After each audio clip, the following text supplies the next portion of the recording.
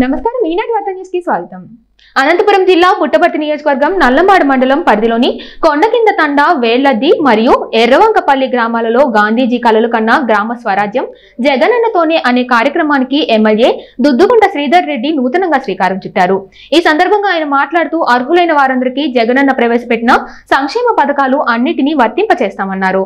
పార్టీలకు అతీతంగా కులమతాలకు అతీతంగా సంక్షేమ పథకాలు అందిస్తున్నామని ఎమ్మెల్యే పేర్కొన్నారు. దాదాపుగా తొంభై ఎనిమిది శాతం మంది లబ్ధి పొందినట్లు తెలిపారు. లబ్ధి పొందని రెండు శాతం మంది సమస్యలను ప్రత్యక్షంగా తెలుసుకోవడానికి గ్రామాల్లో పర్యటిస్తున్నట్లు తెలిపారు. ఈ కార్యక్రమాల్లో సంబంధిత శాఖ అధికారులు వైఎస్ఆర్ కాంగ్రెస్ పార్టీ నాయకులు కార్యకర్తలు పాల్గొన్నారు. మంజూరు పత్రాలు అనుకోండి ఇనిషియల్గా. పొజిషన్ సర్టిఫికేట్ రెడీ ఉన్నాయి. మీకు కరెక్ట్గా ఒక పది పదిహేను రోజులు తగ్గని కరోనా తగ్గింది మళ్ళీ వస్తాయి ఎంతసేపు మన ఊరు ఎంతసేపు? అర్ధ గంట తిరిగేసి అయిపోతుంది. అందరికీ ఒక మీటింగ్ పెట్టుకొని నూట పది మందికి అన్నది ఎన్ని పాపం ముందర దుబ్బుతావు ఉన్ని పాపం కరోనా ముసలానికి ఎంత తగులుకుంది అనుకో. ఎతకపోతుంది మళ్ళీ ఎంత ప్రయత్నం చేసినా ఒకటి నాన్న సార్ ఇంకా మన గవర్నమెంట్ నుంచి పింఛన్ తినాలని కోరిక ఉందంట అదేదో పదహారు ఎకరాలు పెట్టారు ఇక్కడ. ఒకటి ఒకటి మాడదాం దానికోసం ఐదు నిమిషాలు.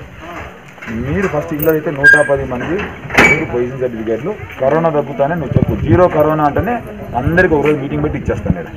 కరోనా కూడా చేస్తే తప్పు అవుతుంది. నేను చేయకూడదు తప్పు. నా తప్పు అవుతుంది. కాబట్టి నూట పది మందికి అందరికి ఇండ్లు ఇచ్చేస్తాను.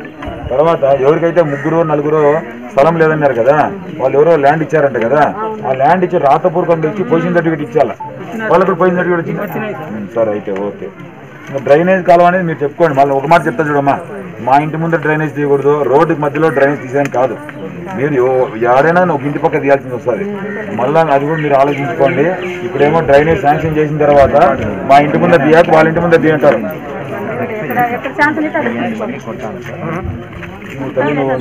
నువ్వు వేదాంతం మాట్లాడుతున్నావు. నేను ప్రాక్టికల్గా మాట్లాడుతున్నా. ప్రాక్టికల్గా గ్రామంలో ఏం చేస్తారంటే నా ఇంటి ముందర డ్రైనేజ్ వద్దు ఇంకా ఆయన బాగా ఖాళీ ఉంది వాళ్ళ ఇంటి ముందర తొయ్యి అంటారు జరుగుతుంది. మీకు అబద్ధం కాదు. అది జరుగుతుంది. కాబట్టి డ్రైనేజ్ అనేది మీరు ఆలోచించుకొని చెప్పు. మంగే ఊరికే నేను అబద్ధం చెప్పడానికి నీకు పని జరుగుతుంది. డబ్బులు వస్తాయి చేస్తాను. కానీ డ్రైనేజ్ మొదలు పెట్టినాక మీకు వీళ్ళలో వీళ్ళేద్దాం. ఇప్పుడు డ్రైనేజ్ కావాల్సిన వాళ్ళే మళ్ళీ వద్దంటారు ఇప్పుడు డ్రైనేజ్ అంటే ఇప్పుడు మనం మెయిన్ పాయింట్ చూసింది సార్ సర్కిల్లో ఆట నుంచి మన వాళ్ళే ఒప్పుకోరు అంటున్నా ఆ టైంకి. అంటే అదేం అబ్జెక్షన్ నాకు వాళ్ళకి అబ్జెక్షన్ లేదంటే శాంక్షన్ చేస్తాం. తర్వాత సీసీ రోడ్లు. సీసీ రోడ్లు అమ్మా చూశాను. ఎన్ని కిలోమీటర్లు వస్తాను మొత్తం రెండు వేలకు రెండు వేల మీటర్లు. గుట్ట ఎస్టిమేట్ చేశాను.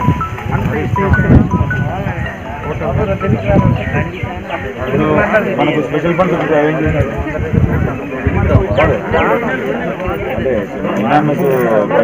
చేశారు రాలే మంది మెయిన్ ఏమంటే కోర్టుకు రాలే ఇప్పుడు మంది పెన్నులు అన్నది అదే మంది తమ్ము కూడా ఎప్పించుకోలే ఇంకా ఆహా అది ఐడి కూడా కాలేదు మంది ఇది ఈ సాలిడ్ వేస్ట్ మేనేజ్మెంట్ పెట్టిస్తారు మా ఆటోమేటిక్ వస్తుంది.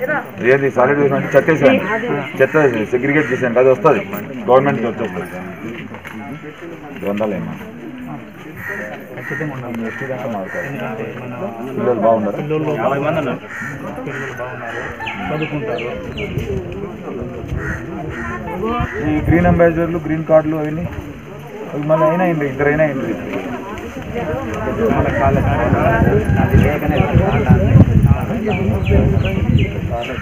స్కూల్ కూడా మనకు చాలా ఈ ఎంపీపీ స్కూల్ గోడ కూడా చేయిస్తాను స్కూల్ కూడా చేయిస్తాలే అమ్మా. ఇది గ్రీన్ అంబాసిడర్ పెట్టిస్తాలే నేను కావాలి. రెండో ప్లేస్ ఉందమ్మా. రెండో ప్లేస్ కూడా మనకు రాలేదు. నాడు నేడు రెండో ప్లేస్లో కూడా రాలేదు. Thirty four members only single గది మాత్రమే.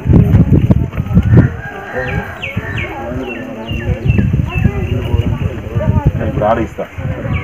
చేయిస్తా బాబు. మీరు ఏమన్నా చేసి చేయండి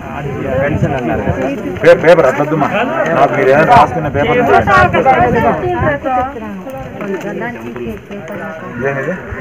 మొన్న ఒకటి కట్టాం కదా బాబు. అక్కడ సుమారు దానికి సుమారు ఇచ్చిన నేను.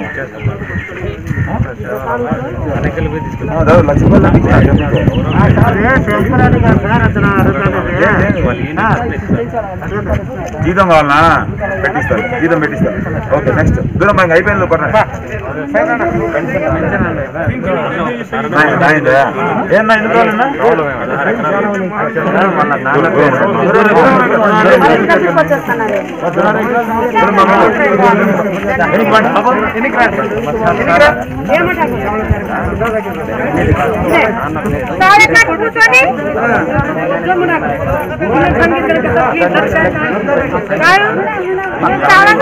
పూచేదా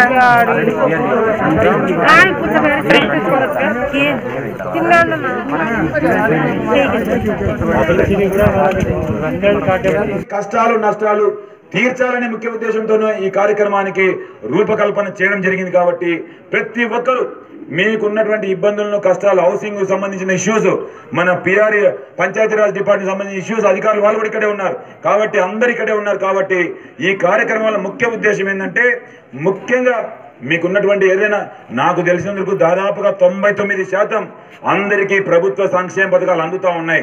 ఒకటి రెండు పర్సెంట్ అక్కడక్కడ ఏదైనా మిగిలిపోయి ఏదైనా ఇబ్బందులు పడుతున్నటువంటి వాళ్ళకు ఈ రోజు ఈ కార్యక్రమం ద్వారా మేలు చేయాలనే లక్ష్యంతో ముందుకు నడుస్తూ ఉన్నాం.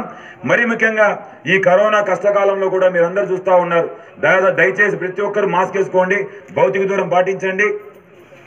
అదే కాకోకుండా మీరు మీరు ఒక్కటి అబ్జర్వ్ చేయండి. కరోనా వచ్చిన తర్వాత ఆ కోవిడ్ నైన్టీన్ కూడా వైఎస్ఆర్ ఆరోగ్యశ్రీలో చేర్చి ప్రజలకు ఉచితంగా వైద్యం అందించి ఈ దేశంలోనే బ్రహ్మాండమైన నాయకుడని జగన్మోహన్ రెడ్డి గారు ఇతర రాష్ట్రాల ముఖ్యమంత్రులు ఇతర రాష్ట్రాల ప్రజలు మన్నలు ఉంటా ఉన్నారు ఈరోజు. ఈ కోవిడ్ నైన్టీన్ సంబంధించి ఏదైతే మీకు ఈ మధ్యకాలంలో ఇంజక్షన్లు వేస్తున్నారు కదమ్మా వ్యాక్సిన్లు వేస్తున్నాం కదా ఆ వ్యాక్సిన్లు కూడా మొట్టమొదటిగా ఉచితం ప్రజలకు ఉచితంగా వ్యాక్సిన్ లేస్తామని చెప్పి ఏకైక ముఖ్యమంత్రి యావత్ భారతదేశంలో ఎవరన్నా అంటే ఫస్ట్ జగన్మోహన్ రెడ్డి గారు. తర్వాత మిగతా వాళ్ళు మొదలు పెట్టారు జగన్మోహన్ రెడ్డి గారు ఏ దేశం తీసుకుంటే ఆయన ఎట్లా అడుగులు అడుగు మిగతా వాళ్ళు కూడా నడుస్తున్నారు అట్లా. దేశానికి ఈరోజు ఈ భారతదేశానికి జగన్మోహన్ రెడ్డి గారు ఒక దిక్సూచిగా పనిచేస్తూ ఉన్నారు. ఒక బ్రహ్మాండమైన ముఖ్యమంత్రిగా పనిచేస్తూ ఉన్నారు. కాబట్టి మిమ్మల్ని ఒకటే కోరుకుంటా ఉన్నాను. దయచేసి అందరూ సోషల్ డిస్టెన్స్ పాడి అందరూ ఎన్నికపోదాం పోదాం. రండి. మీకున్న కష్టం నష్టం నేను గంట గంట రెండు గంటలు కూర్చుంటా. ఫస్ట్ డాక్టర్లు అంటే డాక్టర్ అమ్మ కొంచెం దూరం పోవాలంట. ఏదైనా వైద్యానికి సంబంధించిన ఇష్యూస్ ఉన్నాయా? పెన్షన్లు అంటే డిఎంహెచ్ఓ పెన్షన్లు కానీ లేదంటే డిజబిలిటీ సర్టిఫికేట్ రాకుండా ఇబ్బందులు పడుతున్నటువంటి వాళ్ళు డాక్టర్ గారు వెళ్ళిపోతారు. కాబట్టి అలాంటి వాళ్ళు ఫస్ట్ ముందు రండి. మిగతావన్నీ నెక్స్ట్ చూద్దాం. ఐదైదు నిమిషాలమ్మా పూర్తి చేద్దాం. డిజబిలిటీ డిజబిలిటీ సర్టిఫికేట్ సంబంధించి ఇబ్బందులు ఉన్న వాళ్ళు శ్రీ వైఎస్ రాజశేఖర్ రెడ్డి గారి కుమారుడైనటువంటి మన ప్రీతం నాయకుడు జగన్మోహన్ రెడ్డి గారు రెండు వేల పదిహేడో సంవత్సరం జూలై ఎనిమిదో తారీఖున తన సుదీర్ఘ పాదయాత్ర మొదలుపెట్టి ఇడుగులపై నుంచి ఇచ్చాపురం వరకు పాదయాత్ర ముగించే క్రమంలో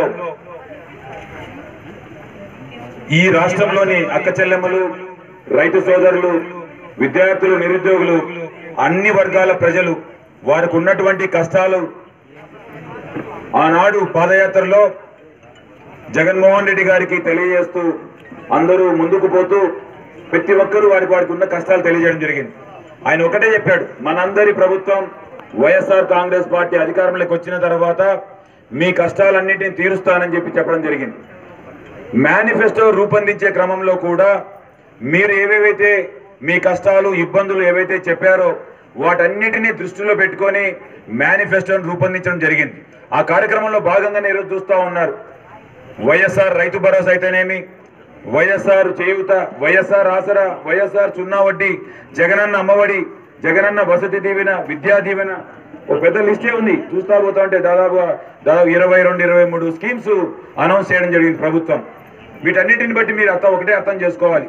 జగన్మోహన్ రెడ్డి గారు రెండు వేల పంతొమ్మిది మే ముప్పై తారీఖున ప్రమాణ స్వీకారం చేసి మీ అందరి ఆశీస్సులతో విజయ దుందుంబి మోగించి జూన్ మే ముప్పై తారీఖున ప్రమాణ స్వీకారం చేసిన రోజును చూస్తే పూర్తిగా ప్రజల పక్షపాతిగా అక్కచెల్లెమ్మల పక్షపాతిగా రైతుల పక్షపాతిగా గౌరవ ముఖ్యమంత్రి జగన్మోహన్ రెడ్డి గారు పూర్తిగా పనిచేస్తూ ఉన్నారు.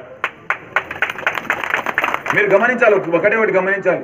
ఈ రాష్ట్రం రెండు వేల పద్నాలుగు సంవత్సరం విడిపోయినప్పుడు పూర్తిగా అప్పులతో కూడుకున్నటువంటి విడిపోవడం అప్పులతో కూడుకొని విడిపోవడం జరిగింది.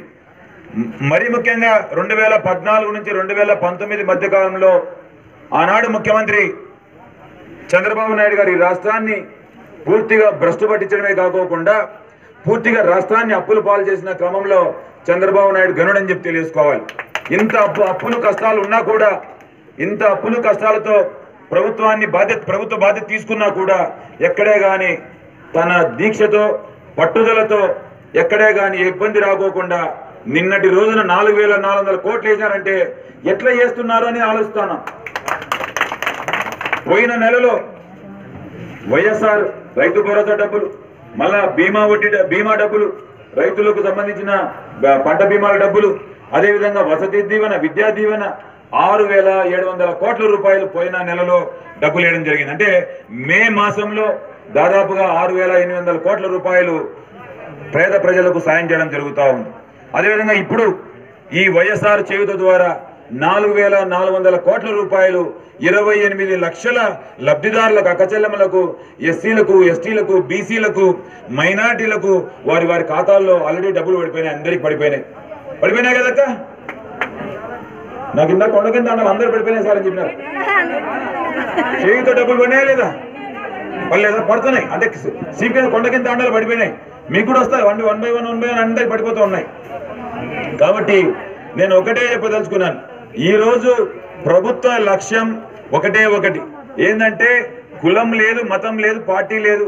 అందరికీ సాయం చేయాలని చెప్పేసి ఆనాడు రాజశేఖర రెడ్డి గారు ఒకటే చెప్పారు. ఏం చెప్పారంటే ఒక్కసారి రాష్ట్రానికి ముఖ్యమంత్రిగా ప్రమాణ స్వీకారం చేసిన తర్వాత రాష్ట్రంలో ఉండే ప్రజలందరూ తన కన్నబిడ్డ లెక్క చూసుకోవాలని చెప్పి ఆ రోజు సీఎం వైఎస్ జగన్ రాజశేఖర రెడ్డి గారు చెప్పడం జరిగింది. ఆయన అడుగుజాడలో నడుస్తూ పుట్టినటువంటి పార్టీ మన పార్టీ వైఎస్ఆర్ కాంగ్రెస్ పార్టీ. మీకు అదే చెప్పాం.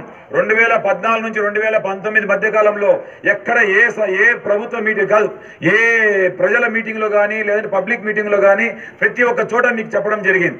ఏమని చెప్పడం?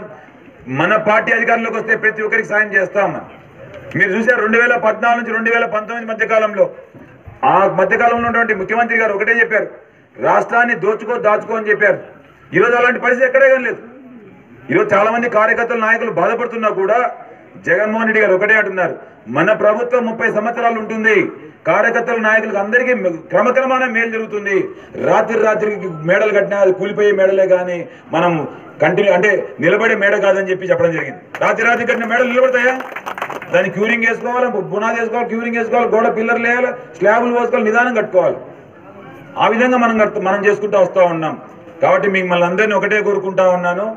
గౌరవ ముఖ్యమంత్రి గారు ప్రవేశపెట్టినటువంటి సంక్షేమ పథకాలు అరకొర ఎక్కడైనా మిగిలిపోయి మీకేదైనా ఇబ్బంది ఉందేమో కనుక్కున్నాం.